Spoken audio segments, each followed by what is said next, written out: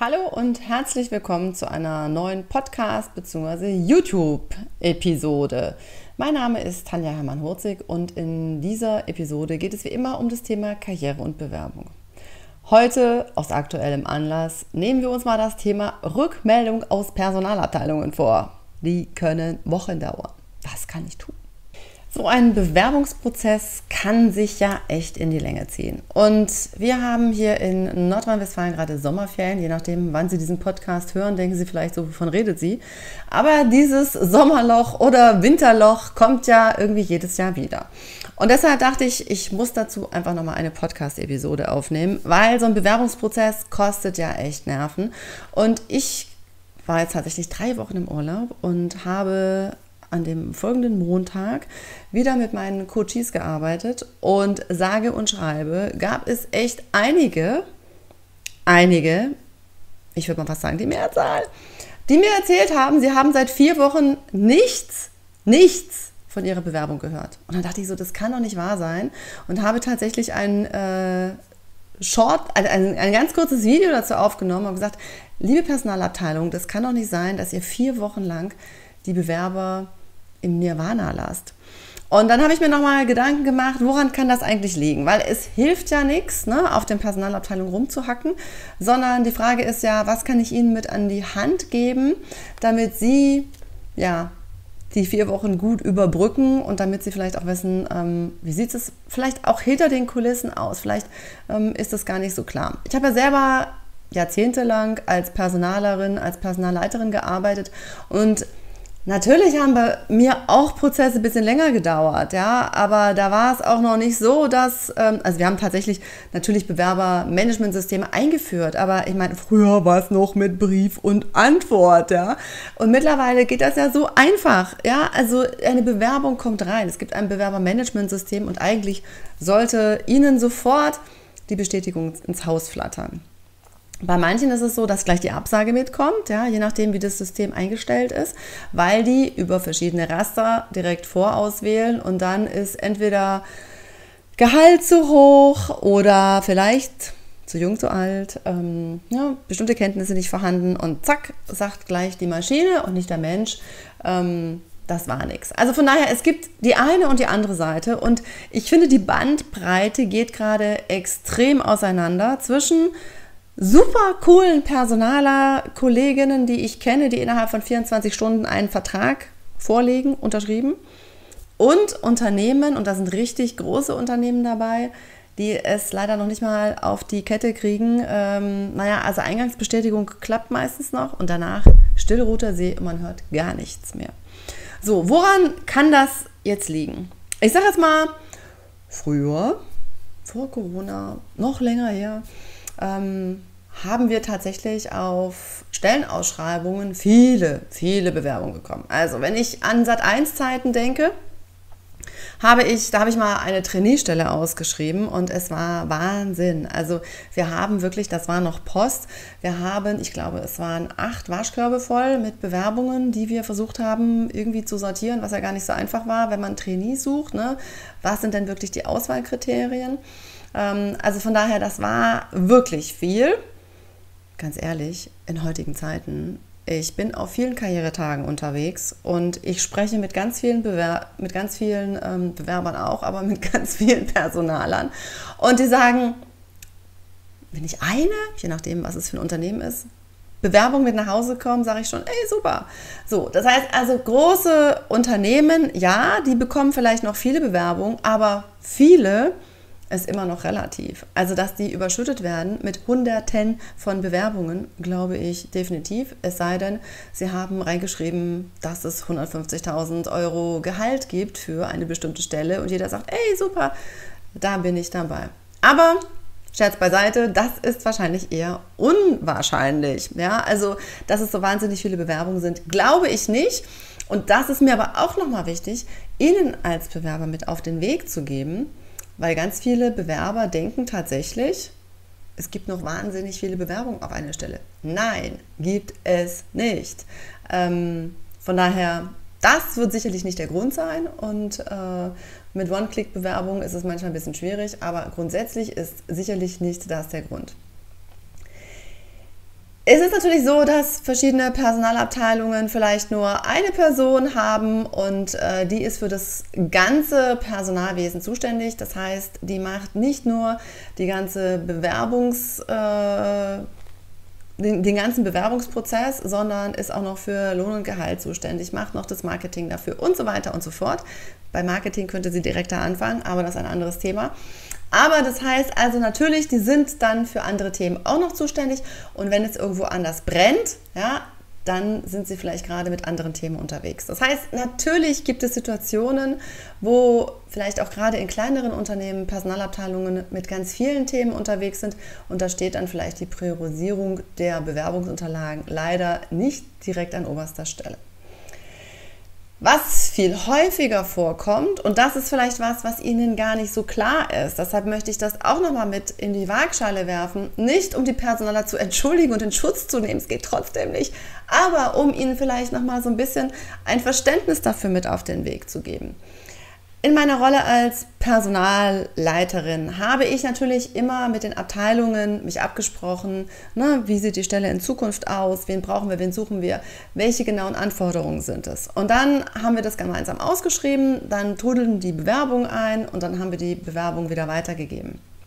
Je nachdem, mit welchem System man unterwegs ist, dauert das unterschiedlich lange, wobei elektronisch können die ja sofort zugreifen.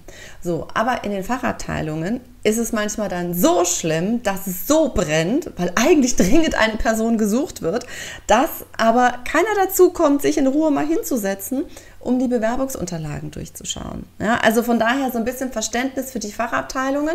Manchmal ist es auch andersrum, dass die Fachabteilungen drängeln und sagen, ich habe jetzt hier so viele gute Bewerber, sehen Sie zu, dass Sie die einladen.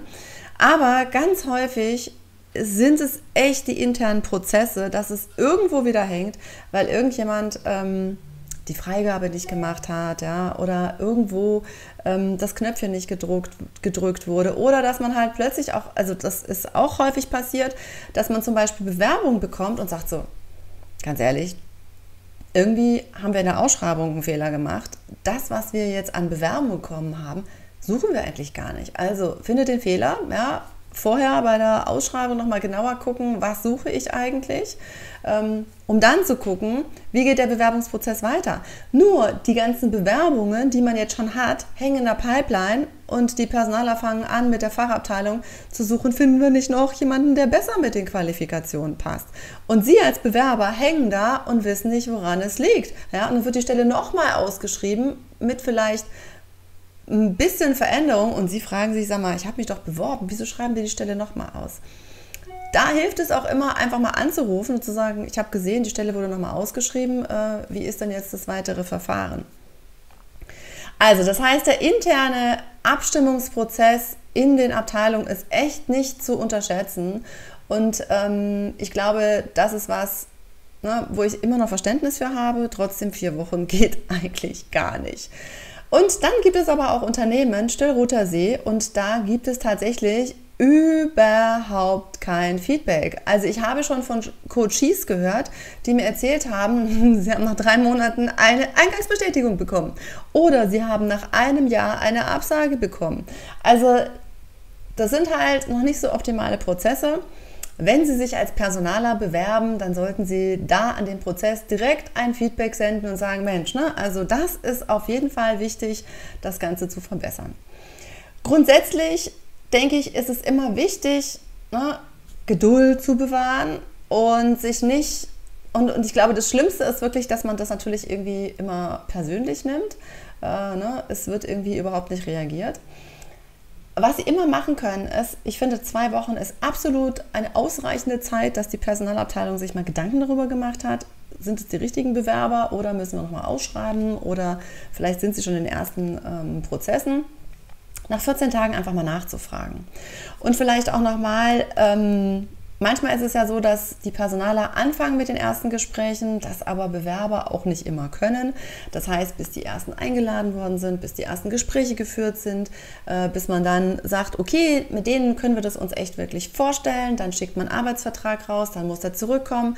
Und vielleicht sind sie auf Nummer drei oder auf Platz vier und sind aber eigentlich von den Qualifikationen passt es, man hat aber zwei oder drei gefunden, die noch besser passen. Und dann fängt man mit denen einfach an, diesen Prozess zu gestalten und versucht, die einzustellen. Aber ne, da können auch immer noch mal viele Sachen dazwischen sein. Und ähm, dann kann es eben auch sein, dass man sagt, Mensch, ne, die Person hat jetzt doch nicht unterschrieben, jetzt gehen wir weiter im Prozess.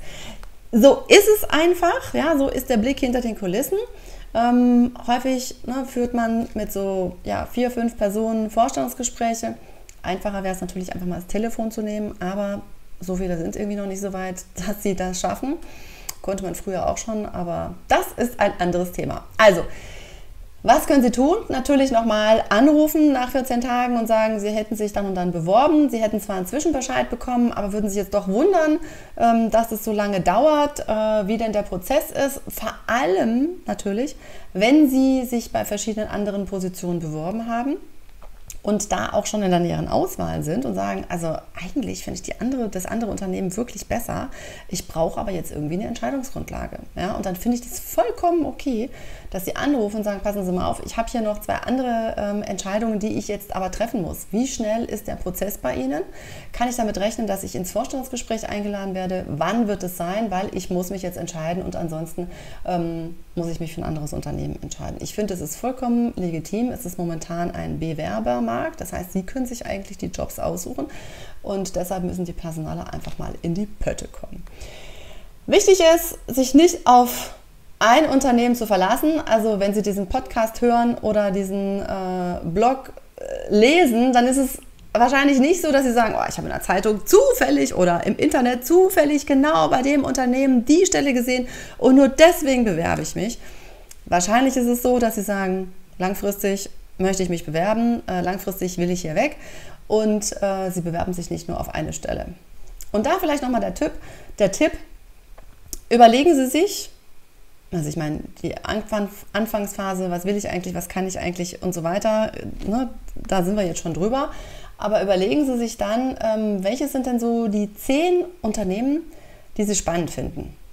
Ja, und die setzen Sie mal in eine Reihenfolge und dann fangen Sie mit denen an, die Sie vielleicht nicht ganz so spannend finden. Können Sie nämlich ein bisschen üben. Und äh, wenn Sie dann sich vorgearbeitet haben bis zu dem Unternehmen, wo Sie sagen, boah, das finde ich jetzt echt super, dann wissen Sie schon, welche Bewerbungen kommen gut an, wie kann ich im Vorstellungsgespräch gut punkten. Das haben Sie dann alles schon geübt, welche Fragen kommen, wie habe ich mich am besten vorbereitet. Und ähm, je mehr Sie da schon geübt haben, desto souveräner und ähm, entspannter gehen Sie dann zu dem Arbeitgeber, zu der Stelle, wo Sie sagen, boah, das wäre jetzt echt cool. Wenn Sie eine Absage bekommen, dann fragen Sie einfach nochmal nach, woran hat es gelegen? Ich möchte mich gerne verbessern. Was kann ich tun, damit ich beim nächsten Mal besser punkten kann? Es gibt das allgemeine Gleichstellungsgesetz, AGG, und deshalb erzählen ganz viele Personalabteilungen nicht mehr, was war wirklich der ausschlaggebende Grund, weil sie Angst vor Schadenersatzklagen haben.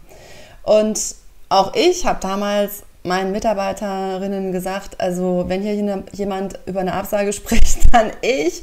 Aber es, es gibt ja bestimmte Punkte, die jetzt nicht AGG, also nicht AGG gefährlich sind und äh, die kann man ja dann durchaus auch erwähnen. Das heißt, eine Absage haben Sie eh schon. Ja? Fragen Sie nach, rufen Sie an, nehmen Sie den Hörer in die Hand und sagen, Mensch, ich fand das Gespräch total klasse, das und das hat mir gut gefallen.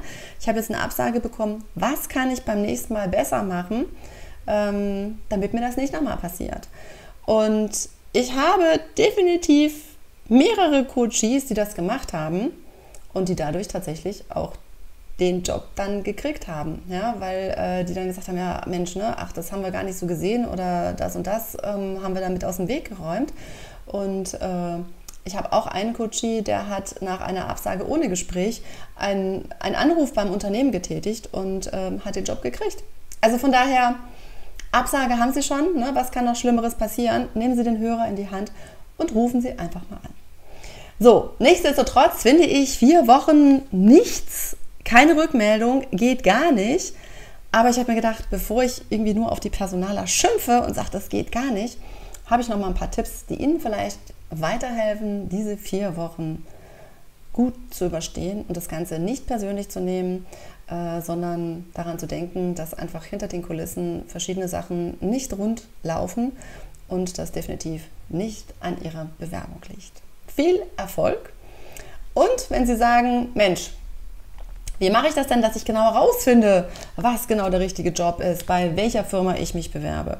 Ab September starte ich wieder mit meinem Kurs Next Step, wo wir in einer Gemeinschaftsaktion anfangen herauszufinden, was können Sie eigentlich, was wollen Sie eigentlich, was ist Ihnen wichtig und dann Schritt für Schritt vorwärts gehen, um herauszufinden, wie und wo und wozu und weswegen und für welchen Job vor allem Sie sich am besten bewerben und wie Sie das Ganze machen. Sie finden das auf meiner Website unter Next Step, je nachdem, wann Sie diesen Podcast hören und können sich entweder auf die Warteliste eintragen oder ähm, Sie können direkt sagen, yes, ich bin dabei. Viel Erfolg beim Durchstarten! Wenn Sie sich unsicher sind und sagen, oh, ich weiß noch gar nicht, was für mich jetzt die richtige Lösung ist, ich habe eine virtuelle Kaffeepause. Da können Sie sich für ein 20-minütiges kostenfreies Strategiegespräch anmelden. Und da schauen wir erstmal, wo stehen Sie denn und ähm, welche Schritte sind jetzt wirklich sinnvoll, wie kann ich Sie unterstützen. Und das finden Sie auch auf meiner Webseite. In meinem Kalender finden Sie dann da einen Timeslot und dann freue ich mich, wenn wir uns beide sehen. Viel Erfolg beim Durchstarten! thank you.